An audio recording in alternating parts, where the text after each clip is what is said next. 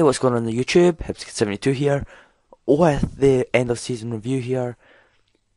I'm really hoping that you guys like like the previous episode, so you got this up in the same day.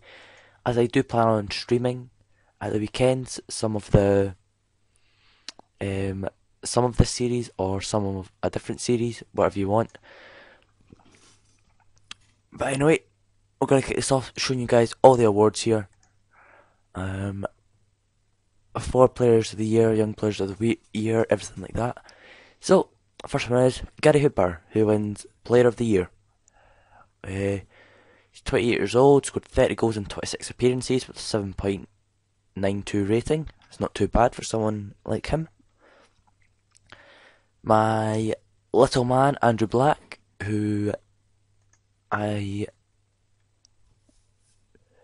who is gar- gathering the interest of teams like Aston Villa, and it was Bolton before it issued a hands-off warning, and they're supposedly going to try and bid 3.4 million. So hopefully we can keep him until he's at least 26 or something.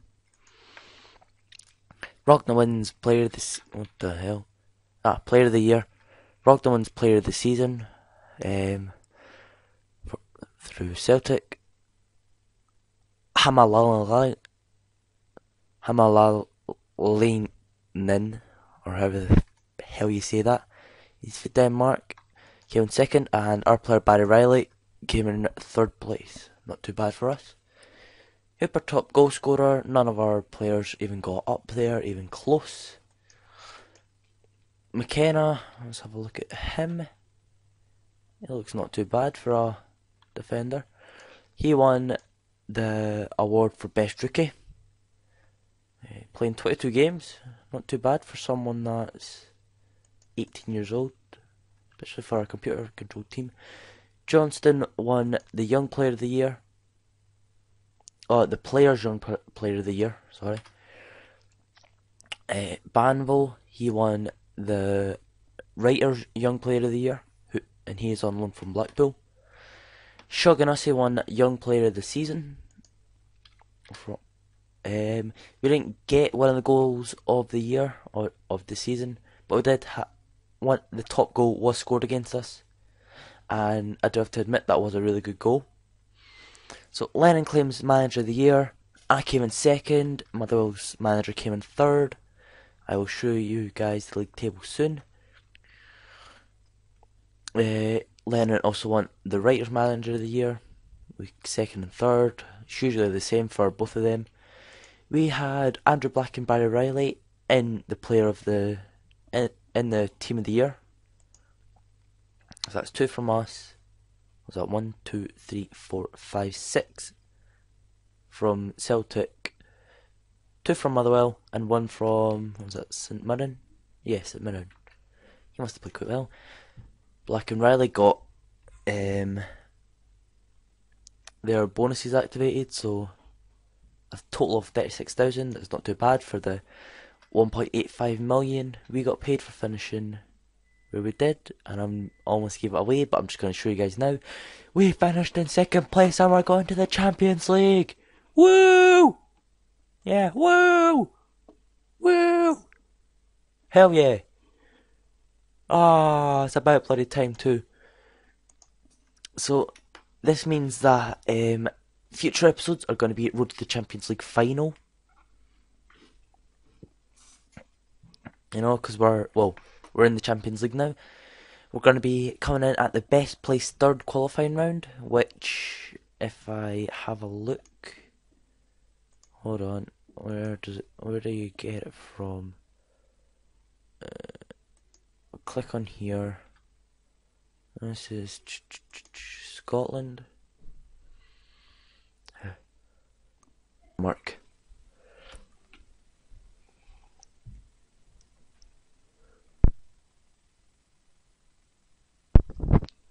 Sorry about that. I'll try and cut that out, or I'll put up a little annotation a couple seconds before it, just so you guys know. But anyway, this is going to be a really long episode, I can tell you that. There's no live comment at the end though, which is good. Gonna apply for the under 20s job there. I clicked on the wrong one though. European reputations. Uh, it's not this, is it? No. Where's the world? No. Oh well. ECC. Here we are.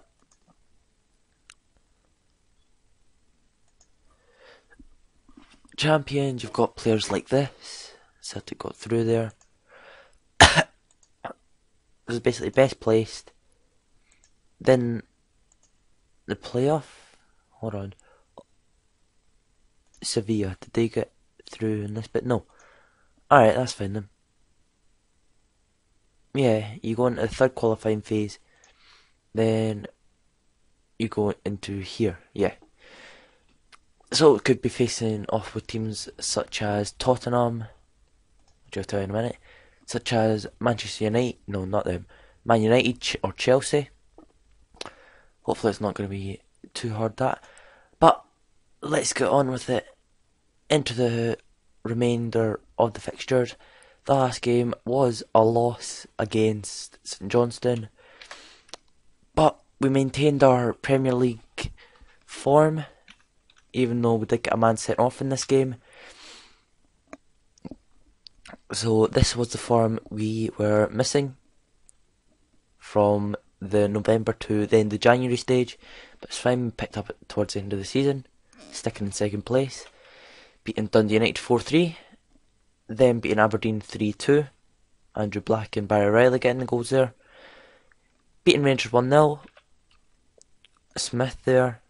McGowan missed a penalty, but we still beat St Johnstone two one. Drew with Hearts 0 0. Drew with Celtic 1 0. I was ha- really happy with this. And it just goes to show you why Black is worth so much. Motherwell, we then drew 1 0 with as well. McGowan getting the goal for us there. Dundee United we lost 2. Then we picked up then we picked up towards the end. Hammering Hearts 4 0 and completely demolishing Rangers 6 2 with Danny Handling getting 5. Absolutely amazing. Take off all these fixture all these filters here and I show you guys general info. Yep.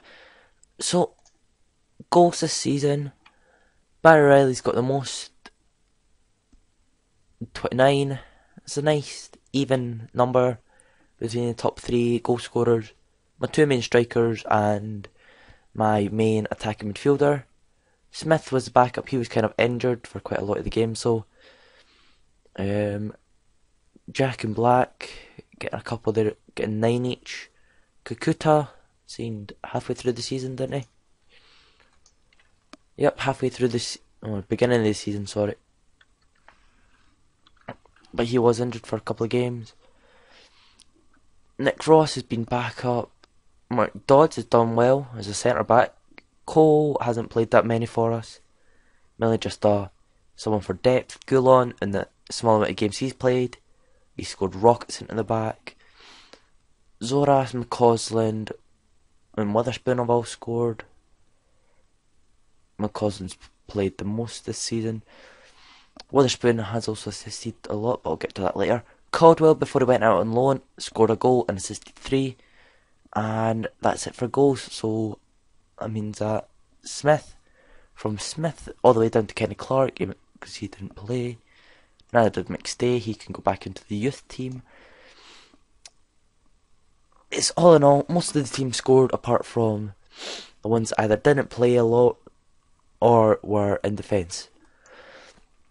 Assist wise, we have quite a number. We've got four really good assisters, which is why I really like Riley as well. Black gets sent in those little spaces and just basically runs through with the pace. As you see there, 16 pace, 17 acceleration, 15 crossing. Not that good technique. Composure could be better. Actually, what's he trading on right now? It's composure, yep. Riley, even though he scored 29, he still looks to help out the rest of the team. He got 18, just two below Black. Not too bad for a striker. Smith got 14, and Witherspoon got 14 as well. Handling also got 12, another striker. And it's yeah, it's just kind of churned out between a lot of them. But anyway, wages wise, Riley's still in the most, of course. Best player where we've got. In his final season, which is what season five, season six. Yeah, season six. In season six, once he plays five games, which will be at the start of the season, he will be signing a new contract with us, which is really good. Players that are coming in are Ayang. Oh, I've not shown you guys him. Yep, I, d- I decided to sign this guy here on a free contract, a pre-contract, and he will be joining us at the same time as our two Brazilians. He's going to be a really good backup for uh, Hyman if we eventually do lose him. Got the potential to become a leading Premier League goalkeeper, not too bad. Only a star below Kenny Clark, so already he's going to be doing quite well. I do play a sweeper keeper now, so eccentricity is fine. And can basically work on everything else, like what we've done with Hyman. You already know about Mazingo, who will be coming on the 5th of August. Alright. Oh, that's because that's when his birthday is. Can't get him until he turns 18, so long shots, penalty taken, technique, brilliant for the left mid and the attacking centre mid role. Domingos, on the other hand, we will be getting on the 14th of uh, July. So, although we might not have them for the Champions League, we might. Um, well, we'll definitely have Domingos. I can count on that, but I highly doubt we won't have Mazingo for the start of the Champions League run. Hopefully, we can get quite far in it. Those sneezes have really put me off right now. Money we get from it, I almost forgot to have a look at this. Uh, rules.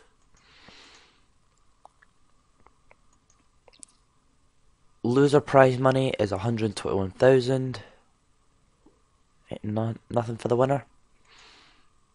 Alright. Oh, that's cool. So even if we do lose in the third qualifying round, we do go into the Euro Cup, which I'm actually quite happy with. Um,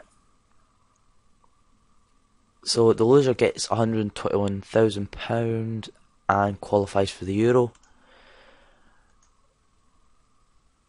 If we win and we then lose, we get 1.82 million.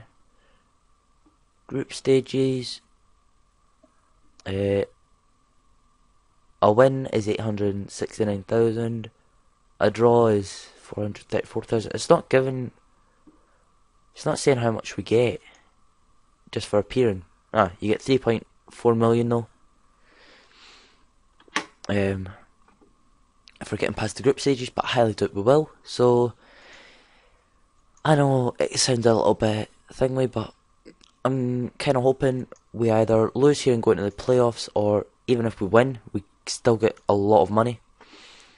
And hey, that'd be good. Coefficient, Barcelona's got the best. Where are we? When it comes to it.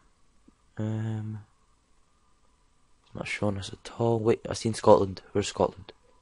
That was Celtic. Hold on. Ah, it's only showing last season's, right. Anyway, that's going to end it here, you guys.